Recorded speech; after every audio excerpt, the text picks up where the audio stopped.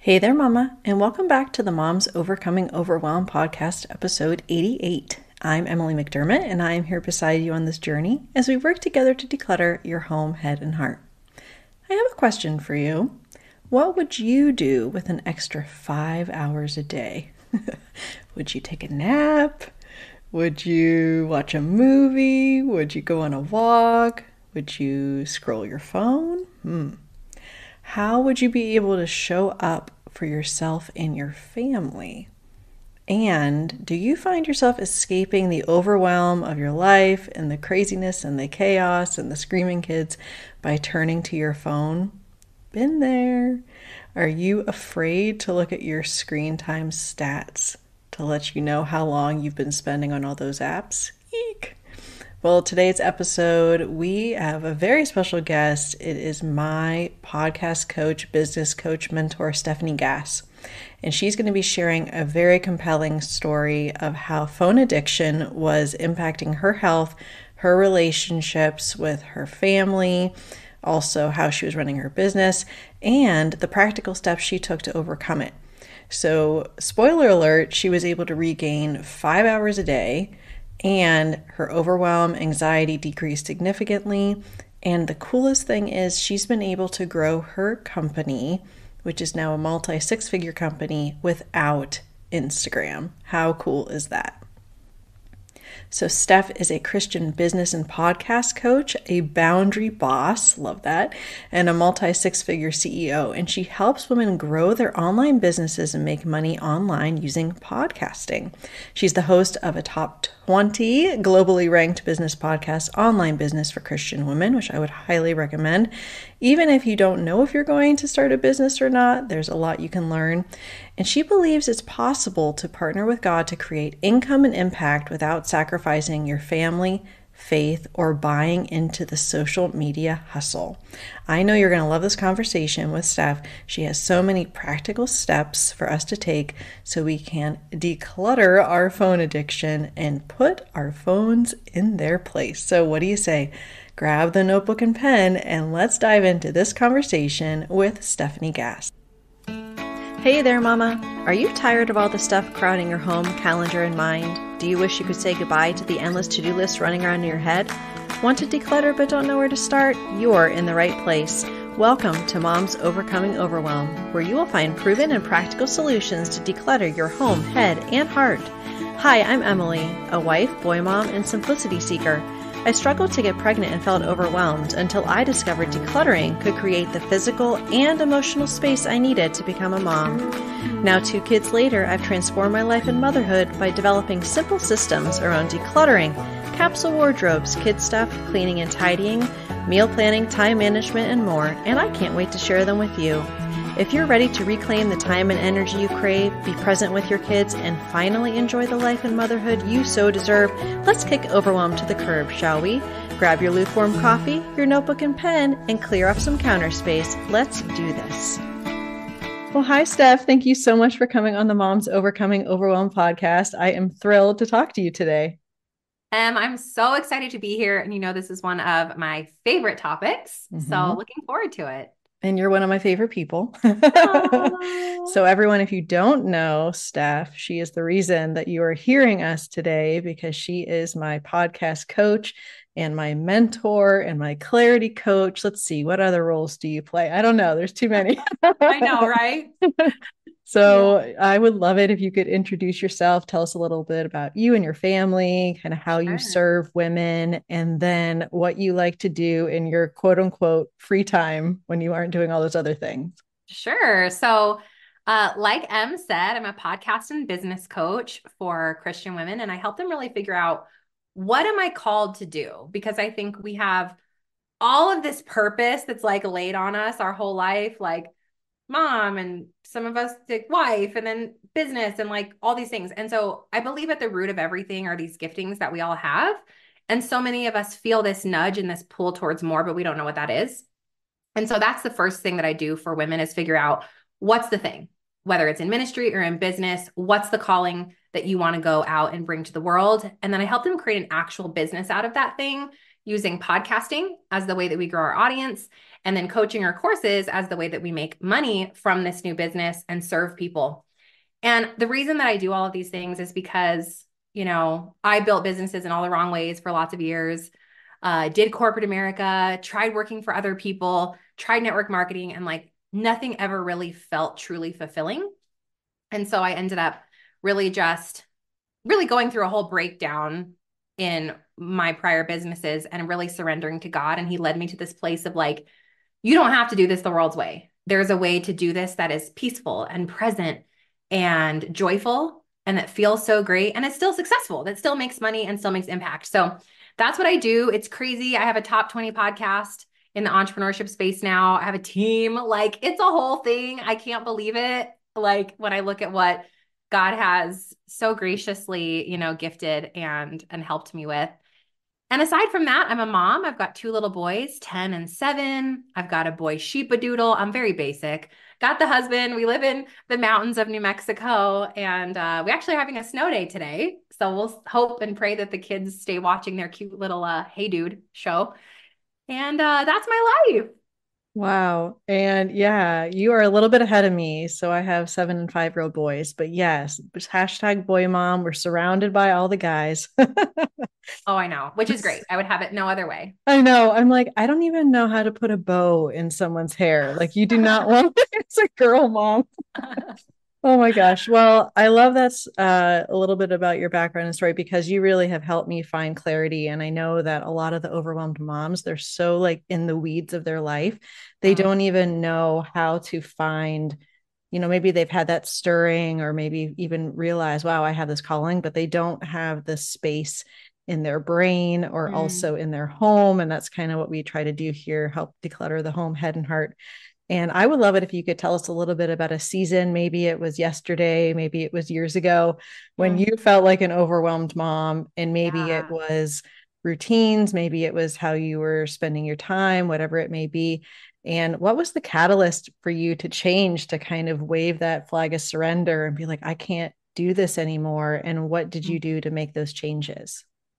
Yeah, for sure. I will say that there are little peaks of overwhelm, I think, in all of our days. And so knowing that that is normal and that that is okay. But when we start getting into seasons of overwhelm and debilitating overwhelm, I actually label these discernment alarms because I believe that we are being shaken from like a Holy Spirit perspective. Faith is a big part of my life to take a look at like, whoa, like I'm either idolizing something, I'm lost in something, I'm chasing something, something isn't right in my life. And I believe that it's Holy Spirit alarming me that I need to make some changes. And so that is really, if you can start to shift your perspective to like, I'm in a season of overwhelm, looking deeper into that overwhelm and asking yourself, like, what fundamentally needs to shift and change? And so, an example of this from my life is back in 2017 ish, I had gone through a huge business failure. So my identity was completely rocked. I like, I didn't know who I was without success and all the fancy, you know, titles over my head.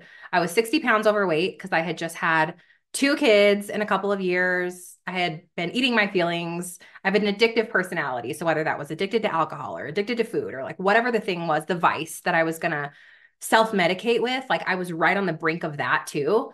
And I was striving so hard to make myself successful again because that's where I felt comfy and safe. Let me be successful. And we all have that. Like, insert whatever that is for you, right? Like, oh, I'm comfy and safe when I am being a good mom, or I'm comfy and safe when I am skinny. I'm comfy and safe when I'm shopping. Like, there's always that place that we want to find ourselves where we're comfy and safe. And that is not necessarily a bad thing. It's just a thing to be aware of because we can easily cross that line, right? That gray line. Like God made me as a great, awesome leader, but the enemy knows that too. And so he can exploit.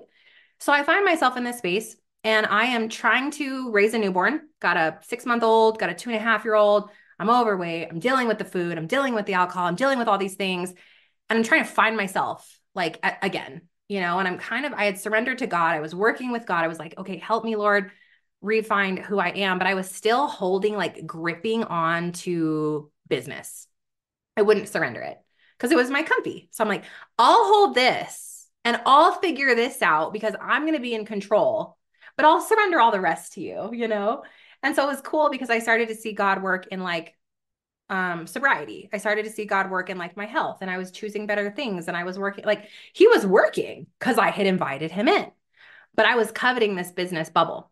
And so what I believe to be true is I had to show up on social media all these hours to rebuild my business and to create a brand. And so I was there, you know, and it's it's just crazy now when I say it out loud, but like 5 to 6 hours a day.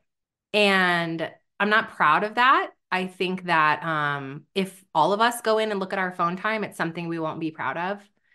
And so for me, Instagram was really this addictive vice that I had validated in my mind. I have to be there because this is how I'm growing the business. And I just started the business that I have now. I'd started the pod. I think I had, oh, I was about to start the podcast. I had started coaching. I was doing Facebook lives and stuff like that. And I was every story I could capture Em, I'm like, oh, the kids are doing something cute. Let me grab it so that I can resonate with my mom. Like, oh, somebody liked my post. Let me send them a DM. Like, it was so much just like, and my heart behind it, I think, was p- kind of pure. It was like, I want to grow and be successful again, but it was out of a selfish motivation of wanting to to matter again. Like in my head, I thought I don't matter unless I'm successful. And so I'm doing all of these things all the while praying, like, you know how you like halfway let God in? like, Lord, like, help me, you know, grow this business. But like, also don't tell me what not to do because I don't want to, because I, I knew, right? I had the discernment alarms. I felt overwhelmed all the time. I'm like, oh, my kid needs me. They, they threw the Cheerios down, but like, I can't deal with that right now because I'm trying to Instagram the person over here that's a lead.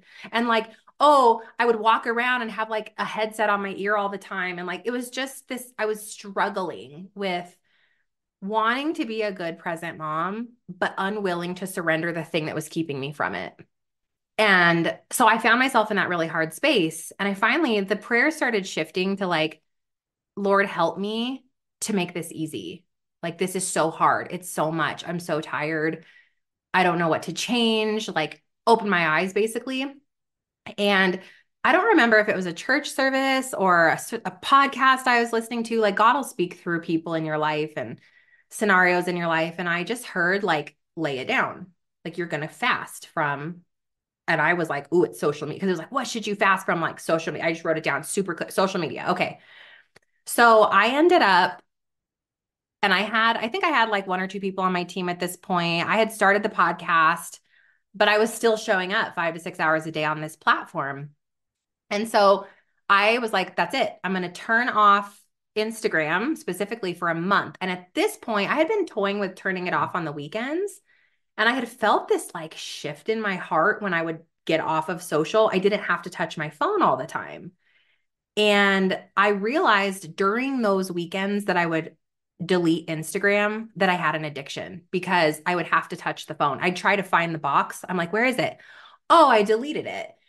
And then this really big like revelation hit me one day I'm sitting down, I'm looking outside. There's a beautiful sunset coming up, and my coffee is sitting positioned so perfectly on the on the table next to me.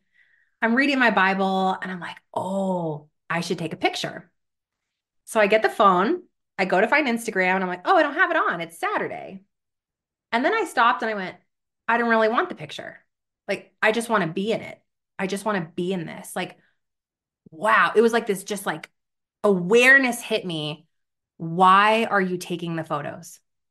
Is it for you or is it for them? And it, it just really hit me like a ton of bricks. And so all these things God had kind of been like preparing my heart for. So I get off of Instagram for a month. The overwhelm completely fell away. I'm like, I could see clearly. I feel like I could breathe deeper. I wanted to cook for my family again. I wasn't always looking for my phone. I lost it all the time. My husband's like, why, why aren't you answering your phone? I'm like, I don't know where it is and I don't care. Like it was lost in my closet. One time it was in the fridge. I'm like that person, you guys. And so, but I I felt so present. And here's the crazy thing. I got back 5 hours a day. A day. And I had to be careful not to fill it with other cuz, you know, crack is crack. So we're like, let me fill Instagram with YouTube. So like we have to be careful. Phone is the problem. It's not always necessarily the app that we're choosing to fill that with, right? We have a computer in our hand and the highest paid engineers in the world are being paid to keep you addicted because of the ad revenue. Like we ain't dumb. This is what's happening. So we need to get in front of it. So anyways, I I looked at the business because I thought I was on Instagram for the business and revenue went up. The email list went up. Everything exploded in my life. From a business perspective, I didn't need it. From a personal perspective, I didn't want it. And so we kept going. We went six months as a company. Personally, I wasn't on there at all. And now it's been a year and a half, and I still do not use Instagram on a personal level. And my overwhelm like if you ask me the percentage of time that I feel overwhelmed in a weekly basis, I would say maybe like 5%. And I think that's really crazy because if you would have asked me back then when I was constantly addicted to my phone, I would have told you that I was overwhelmed 90% of my time. So there's a big, there's a, just a huge, like, flashing red solution in front of all of our eyes, but we're so afraid to look at it. That's a long answer. Have fun. That's a great answer. I love it. I think that there are for moms, whether they're starting a business or not, there are acceptable ways to escape. And unacceptable might be that your husband gets home and you're like, peace out. I'm going to go to the bar for a couple hours, you know, like probably not socially acceptable. Having the glass or two of wine with dinner, which is what I did for a long time, you know, maybe more socially acceptable. Uh, yeah. Uh, but our phones, completely sociably acceptable. Not only that, it's encouraged yes. because not only, like you said, because of the people designing uh, the phones and the apps, yep. but also, you know, we have this the fear of missing out, whether that be on the personal level or the business side of things, and just like feel that feeling like we need to check because something is missing, or like you said, not being able to be in the moment and feeling like I should be capturing this and sharing it.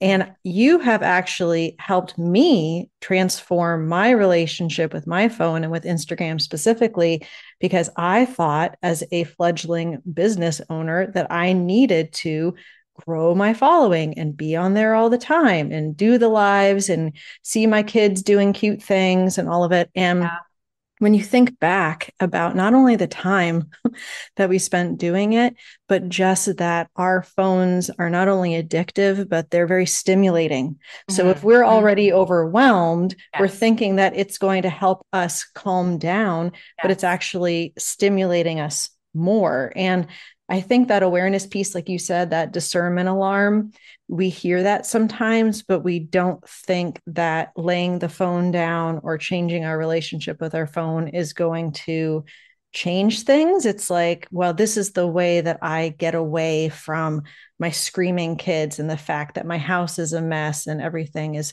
chaotic. And so I guess you were mentioning some of it, but if an overwhelmed mom is listening and she's like, wow, I, yeah, I'm not sure. Maybe I have this unhealthy relationship with my phone. What would be some like warning signs or things that you think that she should look out for to help her yeah. understand? Yeah, that's a great question. And I think that this is going to look different for each of you. For me, it began with like, who is the person that I want to be? What kind of mom do I want to be? What kind of wife? What kind of home do I want to pour into and and you know, what kind of friend? And so I started to ask these deeper questions around who I wanted to become and who God had created me to be. And I wasn't her. I wasn't listening well when my children would speak to me. I was looking at my phone or like wanting to touch the phone. Um, I wasn't showing up in my marriage with everything that I could be. I wasn't a great friend. But I can tell you that I was finding time to post stuff all the time, but I wasn't finding time to call. I wasn't finding time to go to coffee with you. And so as I started to realize this and I started to inventory what is the culprit of these, of me not being the woman that God created me to be, there was one consistent answer, and it was the phone.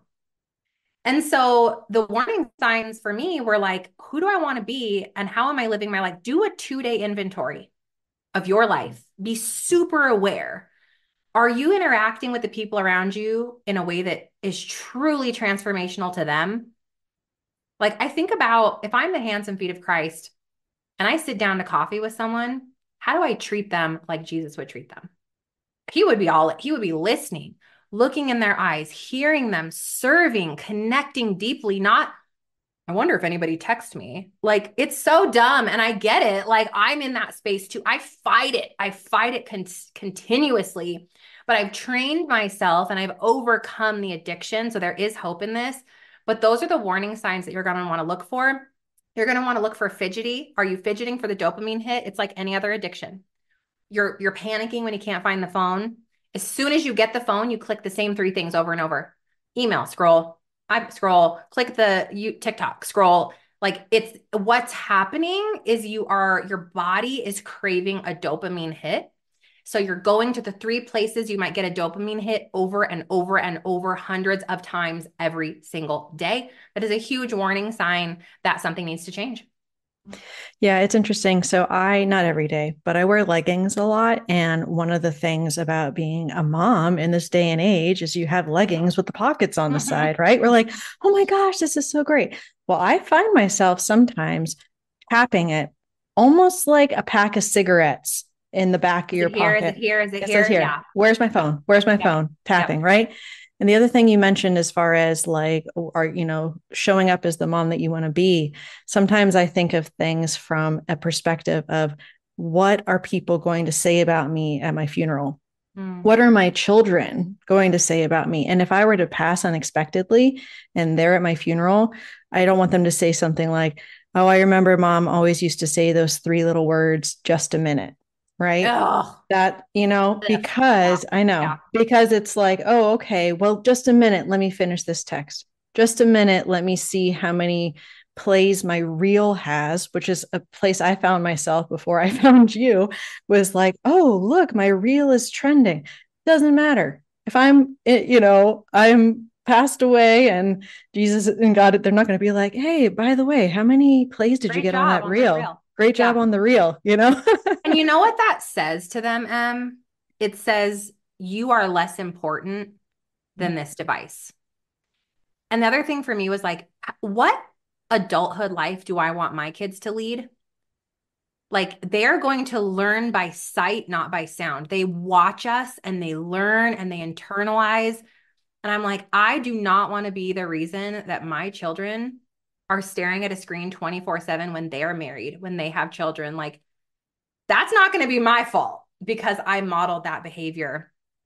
Granted, technology is a part of our lives, but we must make changes and we must have boundaries. Mm-hmm. And you've noticed, you said about sort of your overwhelm and stress levels and kind of how it's impacted your health. And obviously, you were making other changes to your health as far as like movement and nutrition mm-hmm. and that sort of thing. But yeah what were some i guess of the benefits that you found as far as like you said like your presence like your ability to be present not only with friends and family but specifically as a mom with kids? Because sometimes it's hard when like number one, they keep her, mom, mom, mom, mom, mom, yeah. but also like, mom, can you see me do this thing with Legos? And you're like, okay, I have to pretend this is super interesting. I know. and how do you like keeping that focus where it's like, no, you're not having the little voice in your head, like, I wonder if anyone texted me. I wonder yeah. if there's a message. How have how has that right. shifted for you? Mm. Yeah. And I think this is an evolution. Okay. So, to be really frank with you guys, this has been like a six year journey to now where I got off the social media apps completely. I deleted them from my phone on weekends for three years. Like, I wasn't fully ready to completely break, like, God knows, right? And He'll help you tiptoe into it. So, like, training yourself to ultimately get where you want to go and then the second one was the fast. And the next one was like Instagram being completely gone. Another one for me is like there are no notifications on my phone at all. And so there what what happened in my brain is that there is nothing to check because I don't have any notifications. I don't have them on. Like I don't even have notifications. I have emergency people, Brad, my mom, and the boys' school. Those will come through and actually notify me anyone else, I have to actually open the messages app to see that you've messaged me. And the reason that I did that is to retrain my brain that I'm only going to, to deal with the phone when I am in a phone block of time. Now, this is not perfect. Okay. And I'm a human and I fail at this all the time. But my goal for myself is like, if I can just maybe check the phone like maybe five minutes every hour, that's great. I'll check in. Did anybody call me? Did anybody text me? Do I have Voxers from my team? Let me deal with it. Now we're going to put the phone away again. And so some of those practices have helped me to be really present because there is nothing to check. You have to remove the substance, right? Anything that we're addicted to, if you have it laying right in front of you, what are you going to do? You're going to drink it. You're going to eat it. You're going to spend it. Like you have a bag of Oreos sitting in front of you and you're trying to eat clean, like probably the, not the best idea. And so for me, it was like, let me check the phone. Let me communicate to people who matter what I'm doing here. Guys, I'm going to be trying to detox from the phone. I'll check it every hour. Where can it go live so that you know where it is and we're not panicking, but we don't have to tap it like the cigarette box. So for me, for a long time, I had to put it on in the phone box. So there would be a box in the living room. There was one in my bedroom, and we had this shelf too on our coffee nook. The phone was in one of those three places. I just set it there, and so that I could be free. If I have it on my person, in my pocket, within reach, I'm gonna touch it. I'm going, it's an addiction. It is literally, and that's me doing work on this for six years. I will still touch the phone. So, those of you who are like, you're feeling something, you're feeling some conviction right now, imagine how much harder it is for you starting on day one. Don't go, don't tiptoe in, like decide. I'm putting the phone in the phone box. You can even set a timer if you feel like I'm going to go check in an hour. Fine. You can go check in an hour of the phone. But anyway, those things really helped. And how did it shift my presence? Man, I don't know if you guys can relate to this feeling of like, I just heard something, like I heard what the kids asked me or like what my husband's saying but I'm not listening because I'm thinking about the addiction, the phone, the click, the thing. Uh, and I'm like, I, I'm like so embarrassed to be like, I didn't hear that. Can you repeat that? And so I'm trying to be like, now I'm super mindful around like, if I'm listening to a team Voxer and like Landon's talking, I'm like, buddy, like just a, just a minute, right? Or I'll say just a minute to my Voxer and like i can only you can only do one thing at a time and do it well. So now it's like if i can look at you and i'm not worried about my phone i can actually hear you and i can answer you with intention. The thing i don't want my kids to say to me at my funeral is like i never felt like my mom really saw me. I never mm-hmm. felt like she really listened. That's like i refuse for that to be my story and I refuse for that to be their story. And so I just feel like I can listen. And here's the other weird one I feel like I can remember. So I'm a little ADHD or a lot, I'm not sure, but it's hard for me to retain and remember. And I think that's also culturally happening with the way that our, um, the dopamine hits and how we have such a short attention span. It's getting shorter and shorter every year but I felt like I could never remember anything. Like, what did I do yesterday? What did I do that? Like, because we're filling our brain with so much the scrolling, the clicking, the checking, the incessant, like, I have a question, let me Google it. It's so much decision fatigue going on in our brain all day long, every hour, every minute. There's actually no room and space to think, to remember uh, for God to speak to you. There is no room in there. So, like, we've got to clean out the noise. And then I noticed my memory got better, my conversations got deeper. I became much more aware too. I would notice when people weren't listening to me because I was now listening. And so those things really shifted, and I wouldn't trade it for anything.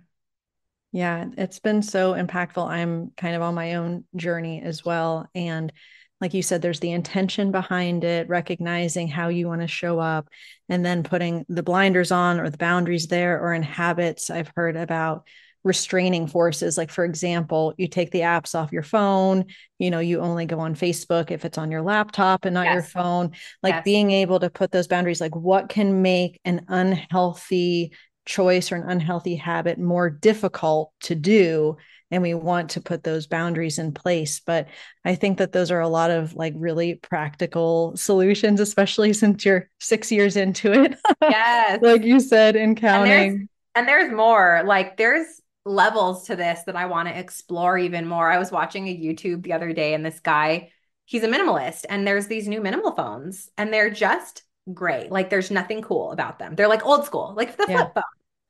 And I'm like, oh man, one day, baby, like I want to go so, I just want to be totally free from this thing. And I'm not ready today for those things. But I think there's so much more growth in this area, even for me. And here's another tactical one that might fit some of you, because some of you may like what we've said so far, right? Like delete the apps on your phone on weekends. But one of the other ones for me was creating a boundary around when my family was home. So I'm in the luxury now of having my kids in school full time. My husband has a regular nine to five hours and I work from home full time. So I can be more available on my phone during work time as long as I can be intentional with work. But um, come like 4 35 o'clock, I'm going to need to lose my phone again. So that's also a practice for me that I've been really working on. Like, let me lose my phone so that I'm not tempted to not be available and present from like 5 to 8 p.m.